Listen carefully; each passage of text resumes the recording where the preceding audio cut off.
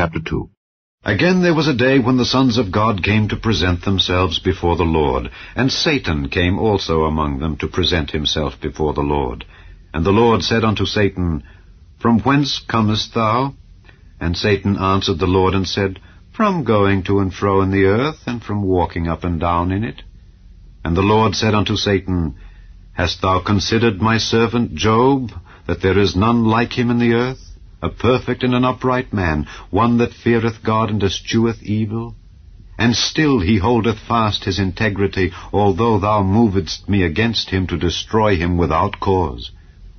And Satan answered the Lord and said, Skin for skin, yea, all that a man hath will he give for his life. But put forth thine hand now, and touch his bone and his flesh, and he will curse thee to thy face. And the Lord said unto Satan, Behold, he is in thine hand, but save his life. So went Satan forth from the presence of the Lord, and smote Job with sore boils from the sole of his foot unto his crown. And he took him a potsherd to scrape himself withal, and he sat down among the ashes. Then said his wife unto him, Dost thou still retain thine integrity? Curse God and die. But he said unto her, Thou speakest as one of the foolish women speaketh. What?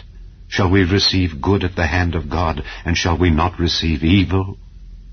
In all this did not Job sin with his lips.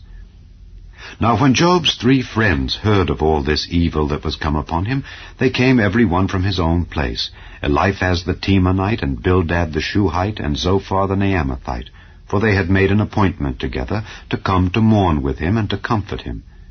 And when they lifted up their eyes afar off and knew him not, they lifted up their voice and wept, and they rent every one his mantle, and sprinkled dust upon their heads toward heaven. So they sat down with him upon the ground seven days and seven nights, and none spake a word unto him, for they saw that his grief was very great.